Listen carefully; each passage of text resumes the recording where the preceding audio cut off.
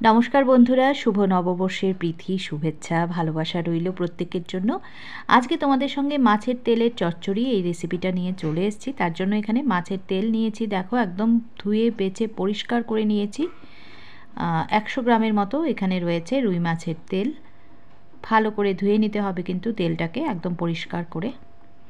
এবারে কড়া আমি অলরেডি বসিয়ে রেখেছি। তার মধ্যে দিয়ে দিচ্ছি ওয়ান টেবিল স্পুনের মতো সর্ষের তেল। খুব অল্প তেলে কিন্তু রান্নাটা করব। আর রান্নাটায় অবশ্যই সর্ষের তেল ব্যবহার করতে হবে, তাহলে এর টেস্টটা অনেকটা ভালো আসে। তেলটাকে খুব ভালো করে আমি গরম করে নিয়ে তার মধ্যে দিয়ে দিচ্ছি পেঁয়াজ কুচি। একটা মাঝারি সাইজের পেঁয়াজ, পেঁয়াজকে আমি একদম কুচি করে কেটে নিয়েছিলাম, সেটা এবার দিয়ে দিলাম। হালকা করে মিডিয়াম ফ্লেমে পেঁয়াজটাকে একটু নাড়াচাড়া করে নেব। খুব কড়া করে পেঁয়াজ ভাজার এখানে কোনো দরকার নেই। জাস্ট একটুখানি তেলে দিয়ে নাড়াচাড়া করে নিচ্ছি। এইখানে দেখো বেগুন নিয়েছি আমি একটা, বড় সাইজের বেগুন, এটাকে লম্বা লম্বা করে এরকম পাতলা করে আমি কেটে নিয়েছি। নিয়েছি এখানে পেঁয়াজ কলি পাঁচ থেকে ছটা পেঁয়াজ কলিকেও লম্বা করে কেটে নিয়েছি আর তিনটে চেরা কাঁচা লঙ্কা নিলাম। এবার বেগুনগুলোকে পেঁয়াজের সঙ্গে দিয়ে দিচ্ছি একসঙ্গে। ভালো করে পেঁয়াজের সঙ্গে এগুলোকে আমি ভেজে নিচ্ছি।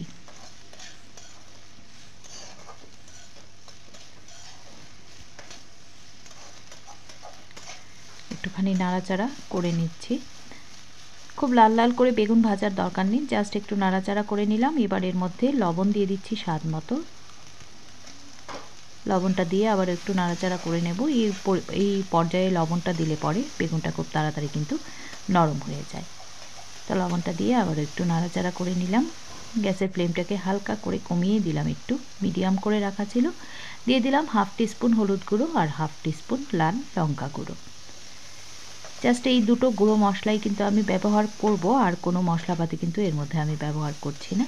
ভালো করে মশলাগুলোকে পেঁয়াজ আর বেগুনের সঙ্গে মিশিয়ে দিচ্ছি।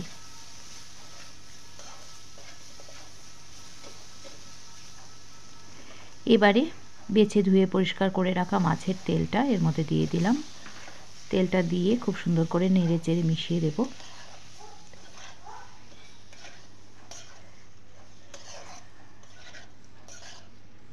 গরম গরম ভাতের সঙ্গে শীতের দুপুরে দারুণ লাগে কিন্তু এটা খেতে।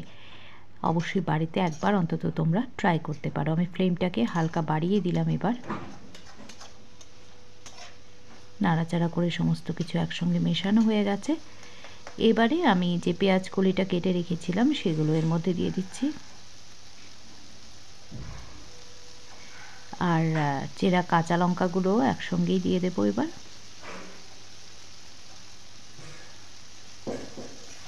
সব কিছু একসঙ্গে দিয়ে উপর নিচ করে ভালো করে মিশিয়ে দেব।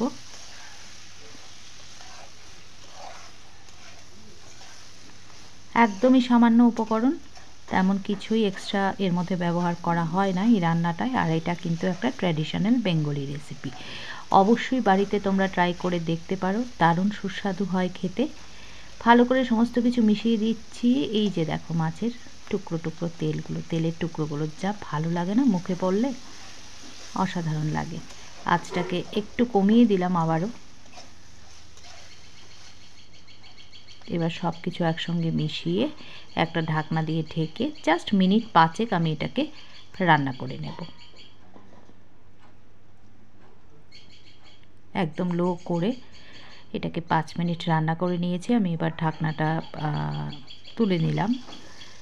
দেখো, আমার রান্নাটা কিন্তু প্রায় শেষের দিকে এবারে একটু ভাজা ভাজা করে নেব, এগুলোকে আবারও চেক করে নিচ্ছি। বেগুনটা হ্যাঁ একদমই দেখো, বেগুন একদমই গলে গেছে। পেঁয়াজগুলিও আমার সেদ্ধ হয়ে গেছে। তো এভাবে দু তিন মিনিট আর একটু খোলা অবস্থায় আমি নাড়াচাড়া করে নেব। ফ্লেমটাকে একটু হাই করে দিয়েছি।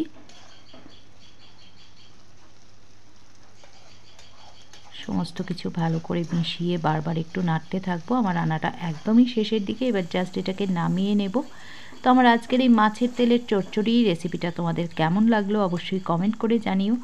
যদি ভালো লাগে ছোট করে একটা লাইক করে দিও শেয়ার করো ভিডিওটা ফ্রেন্ডস অ্যান্ড ফ্যামিলির সঙ্গে, আর অবশ্যই কিন্তু সাবস্ক্রাইব করে আমার পাশে থেকে যেও। দেখো, রান্নাটা একদমই শেষের দিকে, এবার এটাকে আমি সার্ভ করে দেখাচ্ছি তোমাদেরকে।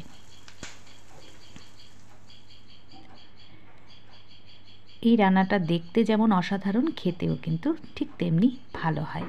আজ তাহলে এ পর্যন্তই। ভালো থেকো সুস্থ থেকো সবাই। নমস্কার সবাইকে।